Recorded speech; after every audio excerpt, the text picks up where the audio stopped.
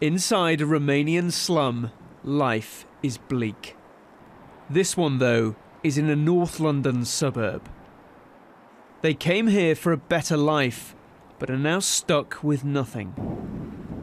No proper documents, no job, no prospects, and very little hope. There's no jobs. It's a problem. Would you like to go back to Romania? Yeah. It's like But you don't have the money to be able to buy the bus ticket to go. the bus, 75 pounds. Victoria Station. Let's go home for Romania. Three day. And you would go today if you could. If you had the money, you would go. Guys no have money. Look.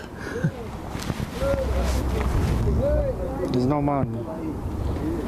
It's ID. So you only have your ID, you have nothing else. Nothing. At night, they cram into their shelters and continue to live life below the radar. It is an extreme example of how it can go wrong. But Poles are now being warned that they need to be prepared if they are moving west. Jacek nie miał dużo szczęścia. Nie miał planu awaryjnego i stał się bezdomnym.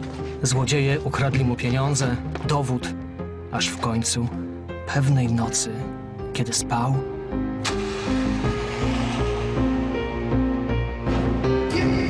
The video doesn't say don't come.